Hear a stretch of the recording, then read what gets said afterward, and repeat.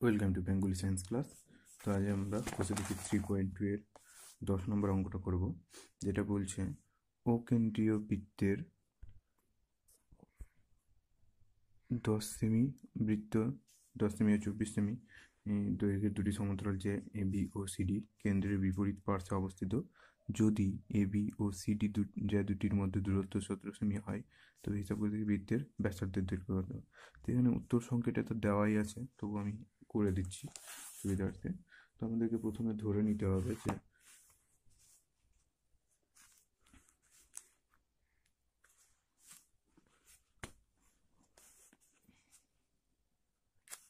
ধরি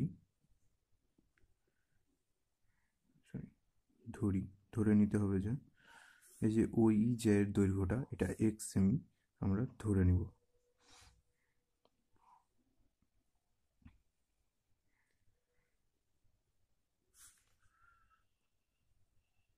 এবি জের দূরত্ব এক সেমি না এবি জের ওই জের দূরত্বটা এক সেমি ধরে নিই ওই সমান এক সেমি ঠিক আছে? সেমি তো ওইটা এক সেমি হলে ও এফটা কত হবে? টোটালটা সতেরো, তাহলে এটা হবে সতেরো মাইনাস এক্স সেমি তাহলে আমরা এই দুটো পেয়ে গেছি। আর এখান থেকে এ এফটা কত হবে? ফাইভ সেমি আর এফ ভিটা ফাইভ সেমি তো এখান থেকে এফ থেকে ফাইভ সেমি পেয়ে যাচ্ছি, আর এটা ও এফটা পেয়ে গেছি। তো আমরা ত্রিভুজ ও এ এফ থেকে পাই। কি পাচ্ছি? যে ও এ স্কোয়ার অতিভুজ স্কোয়ার সমান সমান, এটা অতিভুজ। লম্ব প্লাস ভূমি, তো লম্ব হচ্ছে এ এফ তার স্কোয়ার প্লাস ভূমি হচ্ছে ও এফ তার স্কোয়ার তো এ এফ এর মান হচ্ছে ফাইভ সেমি ফাইভ তার স্কোয়ার প্লাস ও এফ এর মান হচ্ছে ও এফ হচ্ছে সেভেন্টিন মাইনাস এক্স সেমি তার স্কোয়ার তাহলে এটাকে ভাঙলে হচ্ছে টোয়েন্টি ফাইভ প্লাস দু সতেরো, সতেরোই, সতেরো square minus two into seventeen into X plus X square হচ্ছে হচ্ছে twenty five plus two eighty nine minus চৌত্রিশ এক্স প্লাস এক্স স্কোয়ার এবার এক্স স্কোয়ার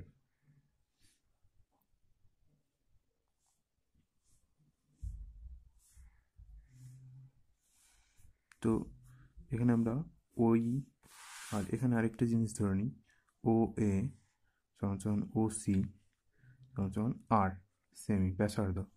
ব্যাসার্ধটাও ধরে নিলাম। তাহলে এখানে আমরা ওয়ের বদলে আর স্কোয়ার লিখতে পারব। অতএব আর স্কোয়ার সমান সমান, অতএব আর স্কোয়ার সমান সমান যোগ বিয়োগ করে নিই।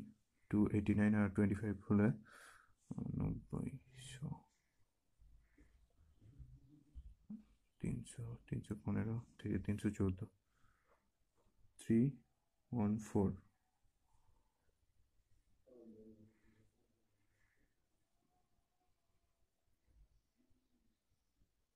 three one four minus thirty four X plus X square এটা আমাদের এটা থেকে পেলাম।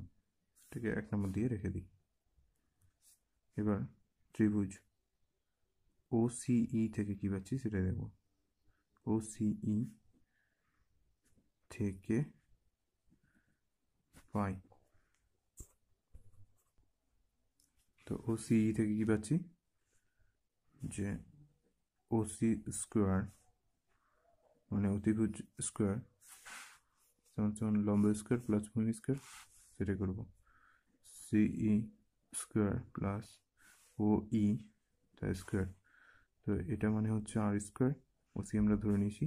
আর সি মানে হচ্ছে টোয়েন্টি ফোর আছে, তো ওর অর্ধেক বারো বারো স্কোয়ার প্লাস ওই হচ্ছে এক্স স্কোয়ার ধরে নিয়েছি।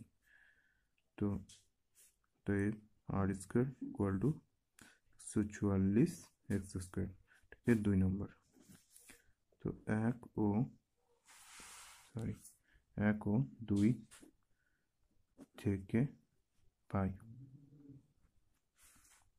তাহলে আর স্কোয়ার আর স্কোয়ার তুলনা করে উড়িয়ে দেওয়া যাবে। তাহলে এটা সমান সমান এটা, সেটাই লিখব। তো three one four three one four minus thirty four X plus X square equal to one four four plus X square এবার দুই দিক থেকে এক্স স্কোয়ার এক্স স্কোয়ার উড়িয়ে দেওয়া যাবে, উড়িয়ে দিলাম। তাহলে আমাদের কাছে এক্স এটা আছে আর এটা সংখ্যা আছে। সংখ্যাটাকে ওই দিকে নিয়ে চলে যাব। তাহলে সংখ্যাটাকে ওই দিকে নিয়ে গেলে হবে বা মাইনাস থ্রি ফোর এক্স এটা হবে ওয়ান ফোর ফোর এটা হয়ে যাবে প্লাস আছে মাইনাস হয়ে যাবে মাইনাস থ্রি ওয়ান ফোর তাহলে হচ্ছে বা minus three four X equal to তিনশো চৌদ্দ থেকে একশো চুয়াল্লিশ বিয়োগ দিলে হবে চৌ, চার যাই চার চলে গেলো, তিনশো দশ থেকে চল্লিশ। তাহলে তিনশো দশ থেকে তিনশো থেকে তিরিশ, একশো তিরিশ, দুশো থেকে তিরিশ, দুশো, একশো সত্তর ওয়ান সেভেন্টি চিহ্নটা মাইনাস হবে যেহেতু এটা বড় আছে।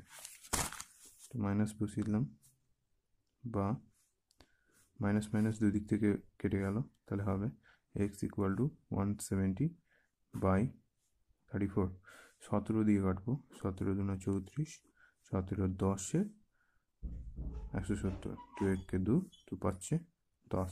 তো এক্স সমান সমান ফাইভ এক্স সমান সমান কত আসলো? ফাইভ তো অতএব আমাদের কি বলেছে যে, তবে হিসাব করে বৃত্তের ব্যাসার্ধের দৈর্ঘ্য কত?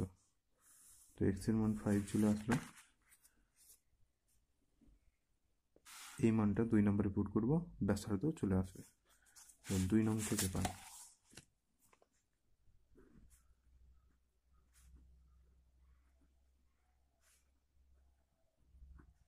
এক নম্বরে পুট করলেও মান চলে আসতো, যে এক নম্বরটা বড় আছে, তাই এই নম্বরে ওটাতে পুট করব না, দুই নম্বরেই করব। তো দুই নম্বরে হচ্ছে আর স্কোয়ার সমান সমান one forty four plus X square তো আর স্কোয়ার সমান সমান one forty four plus X square এখানে এক্সের মানটা বসালে হবে ওয়ান ফর্টি ফোর প্লাস পাঁচ স্কোয়ার একশো চুয়াল্লিশ প্লাস পঁচিশ, তাহলে হবে ওয়ান সিক্সটি নাইন তাহলে হবে থ্রি থার্টিন তার স্কোয়ার মানে হচ্ছে অতএব আট সমান সমান থার্টিন অতএব বৃত্তটির ব্যাসার্ধ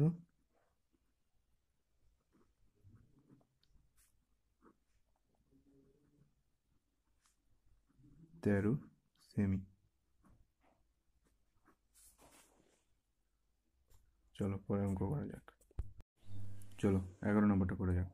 তো কি বলছে? দুটি বৃত্তের কেন্দ্র পি আর কিউ বৃত্ত দুটিকে এ বি বিন্দুতে ছেদ করে এ বিন্দু দিয়ে পি কিউ সরলরেখার সমান্তরাল সরলরেখা বৃত্ত দুটিকে সিডি বিন্দুতে ছেদ করে প্রমাণ করি সিডি সমান সমান টু পি কিউ এই যে সিডি আছে, এটা পি কিউ এর দ্বিগুণ প্রমাণ করতে হবে আমাদেরকে। তো প্রমাণ করার জন্য আগে প্রদত্তটা লিখে নিই। প্রদত্ত কী দেওয়া আছে? প্রদত্ত।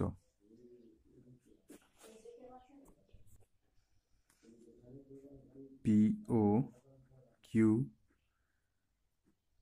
কেন্দ্রীয় দুটি বৃত্ত।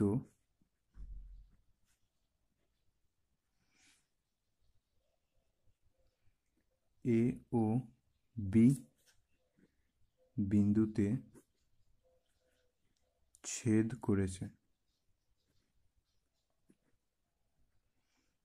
এও বি বিন্দুতে সরি এখানে বি হবে। এও বি বিন্দুতে ছেদ করেছে। ডারি পি ও কিউ যুক্ত করা হলো।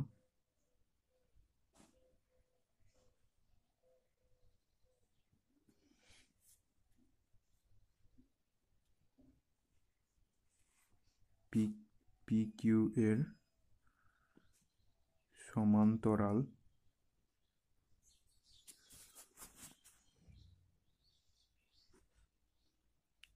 সরল রেখা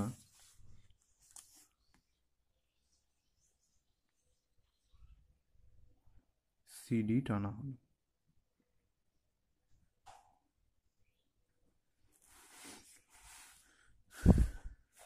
এবার অঙ্কন প্রমাণ্য। প্রমাণ্য কি? পি কিউ সমান সমান টু সি ডি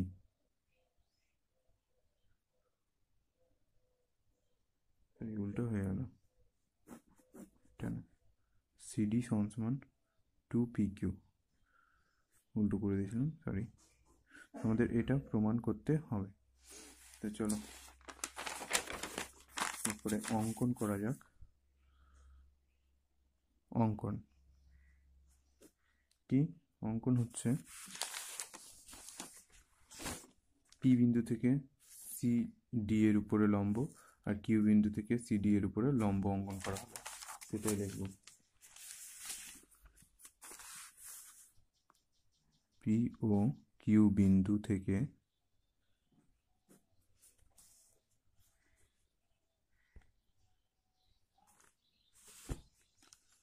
পি ও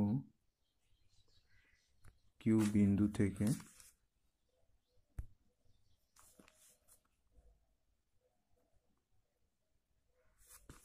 সিডি এর উপর পিএম ও কিউএন লম্ব টানা হলো। প্রমাণ।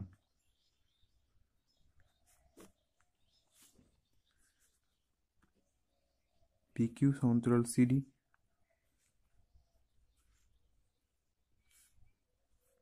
এটা দেওয়া আছে। প্রদত্ত। আবার এন সিডি এর অংশ। তাই পি কিউ সমান্তরাল এম এনও হবে। এবং পিএম লম্ব সিডি ও কিউএন লম্ব সিডি অতএব পি কিউ এন এম একটি আয়তক্ষেত্র।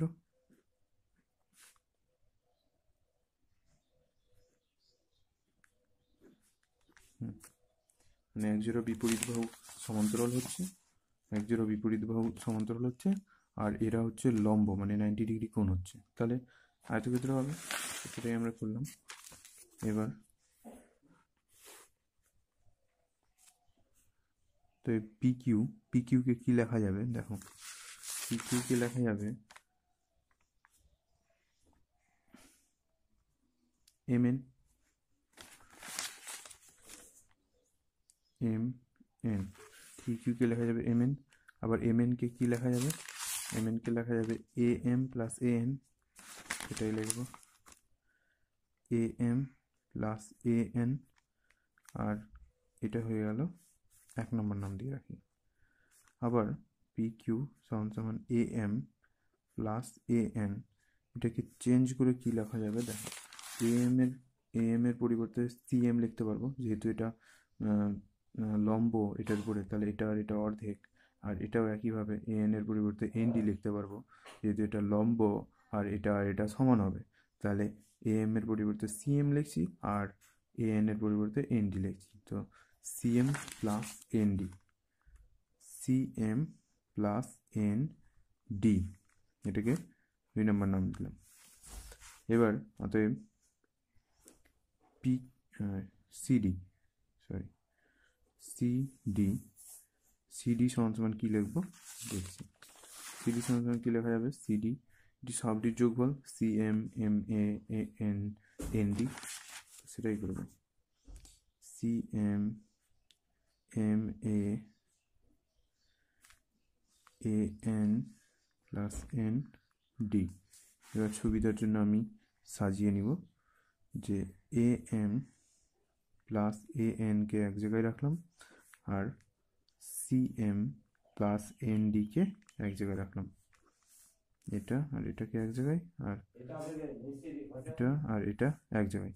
তো এটা সমান সমান হবে পি কিউ প্লাস এটা সমান সমান হবে পি কিউ দুটো থেকে আমরা এক, দুই থেকে পি কিউ পাচ্ছি, তাহলে এটা হয়ে যাবে টু পি কিউ তাই সিডি সমান টু পি কিউ প্রমাণিত।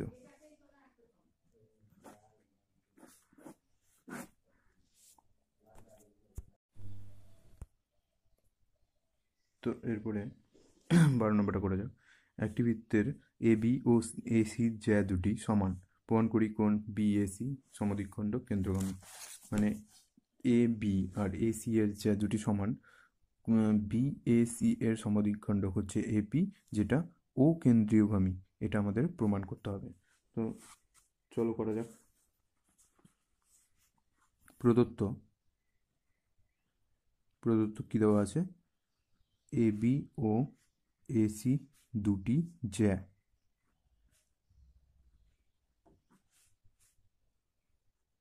যা এ বি সমান সমান এসি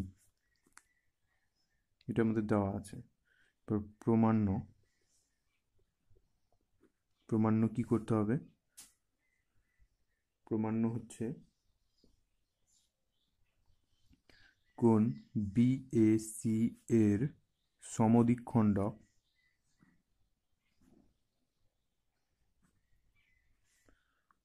ও বিন্দুগামী।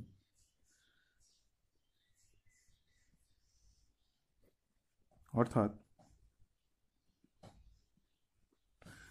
বি বিএসি এই কোণটার সমদ্বিখণ্ডক কি বলছে? ও বিন্দুগামী। অর্থাৎ ও এ হচ্ছে বিএসি এর সমদ্বিখণ্ডক। এবার অর্থাৎ বিএসিকে যদি এপি সরলরেখাটি দুভাগে ভাগ করে, তাহলে এপি সরলরেখাটি ও বিন্দু দিয়ে যাবে। অর্থাৎ বিএসসি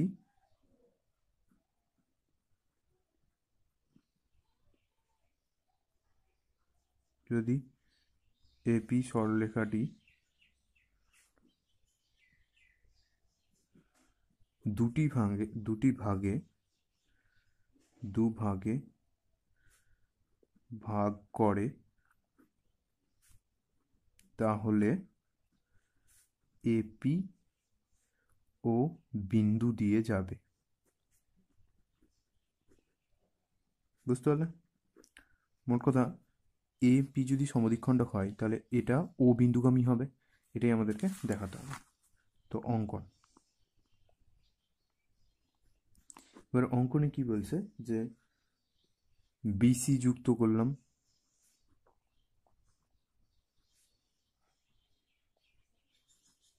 বিসি যোগ করলাম। আর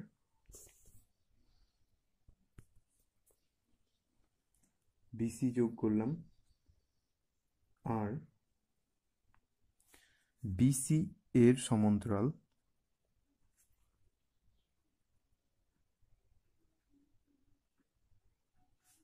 সরল রেখা এম এন টানা হলো যা ও বিন্দুগামী বিন্দুগামী ঠিক আছে, অঙ্কন আমাদের কমপ্লিট এবার প্রমাণে। তো প্রমাণে আমরা ত্রিভুজ এপিসি ও ত্রিভুজ এপিবি এই দুটো নিয়ে কাজ করব। তো ত্রিভুজ এপিসি ও ত্রিভুজ এ পি বি থেকে পাই। কি পাচ্ছি? যে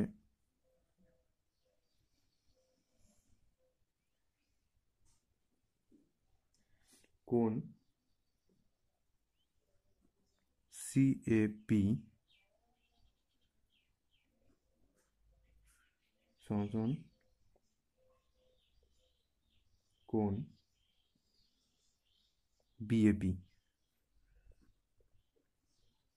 যেহেতু ধরেই নিচ্ছি যে এপিটা হচ্ছে ওর সমাধিখণ্ডক, তাহলে এটা কোন আর এটা কোন সমান হবে? সেটা লিখলাম আর এপি সাধারণ বাহু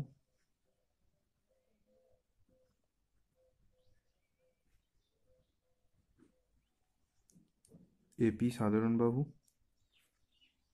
এপি সাধারণ বাহু, এবার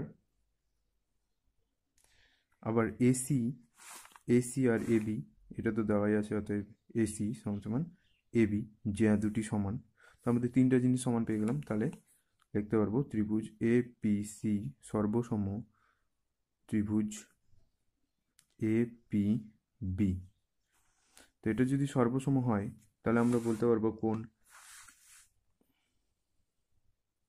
সরি কোন? এ পি সি আর এ পি বি সমান, তো সেটাই লিখব। কোন?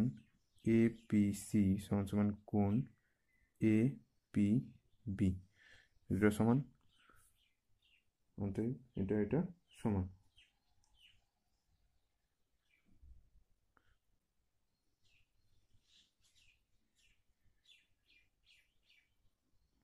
এপিসি আর এপিবি কোনটা সমান হয়ে গেল। আবার এপিসি সরি এপিসি ও কোন এপিবি একই সরলরেখা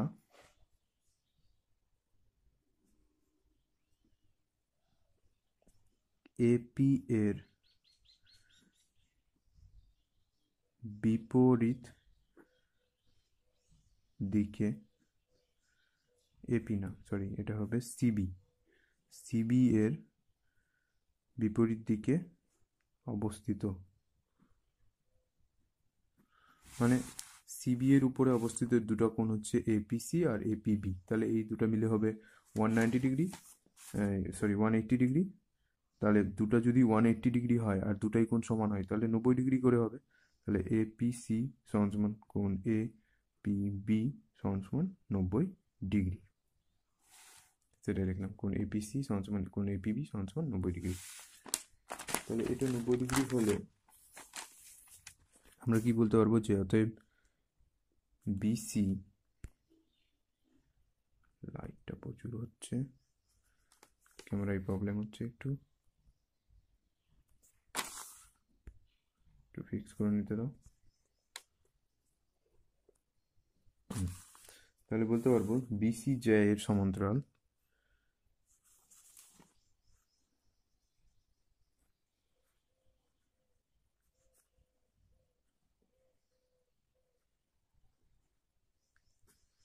সমান্তরাল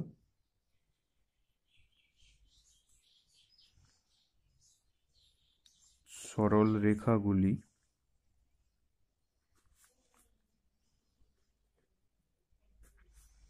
বিসিজের সমান্তরাল সরলরেখাগুলি গুলিকে এপি কি করবে? সমদ্বিখণ্ডিত করবে।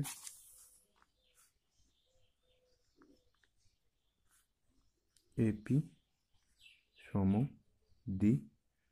দ্বিখণ্ডিত করবে।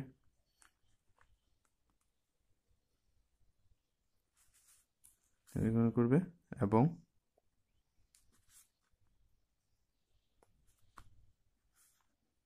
তাদের উপর কি লম্ব হবে? মোট কথা বিসিজের উপরে সমান্তরাল যে সরলরেখাগুলো থাকবে এপিওকে সমদ্বিখণ্ডিত করবে এবং ওদের উপরে এপিটা লম্ব হবে। তাহলে কি বলা যেতে পারে যে লম্ব হবে? সুতরাং এটা একমাত্র সম্ভব যখন ব্যাসার্ধ হয়। এপি যখন ব্যাসার্ধ হয়, তো তাহলে কি প্রমাণ করে যায়? অতএব এপি সরলরেখাটি কেন্দ্রবিন্দুগামী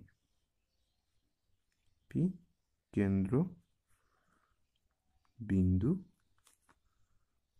গামী। তো এটা কেন্দ্রগামী হলে কি?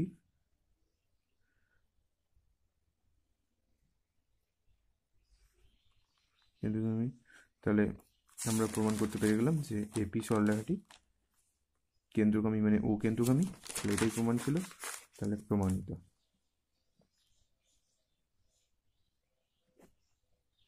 বুঝতে পারলে তো? তো লাস্টের জিনিসটা আমি আরেকবার বলে দিচ্ছি যে বিসি স্বরলেখার সমান্তরাল যতগুলো স্বরলেখা টানা হোক না কেন, যেমন এম এন আরও আরও যত স্বরলেখা টানা হোক না কেন, ওইগুলোকে এ পি স্বরলেখাটা সমদিক্ষণ্ডিত করবে। কেন? কারণ ও ও কেন্দ্রগামী এবং এপি সরলরেখা যেহেতু সবগুলোকে সমদ্বিখণ্ডিত করছে, আর ও কেন্দ্রগামী, তাহলে ওটা একটা ব্যাস বা ব্যাসার্ধ যাই বলতে পারো। তো আমরা জানি যে যখন অপর একটি ব্যাসার্ধ যে কোনো জেকে জ্যাকে সমদ্বিখণ্ডিত করে, তো সেই অনুযায়ী এপিটা হচ্ছে ব্যাসার্ধ বা ব্যাস, তাই জন্য ব্যাস হতে গেলে ওটা ও কেন্দ্রগামী হবে, তাই জন্য ওটা ও কেন্দ্রগামী। থ্যাংক ইউ আজকের মতো এখানেই। আবার পরের ভি- ভিডিওতে পরের তিনটা সলভ করব, যেখানে যেটা হচ্ছে তেরো, চোদ্দ, পনেরো করব, তারপরেরগুলো করতে থাকব। Thank you for watching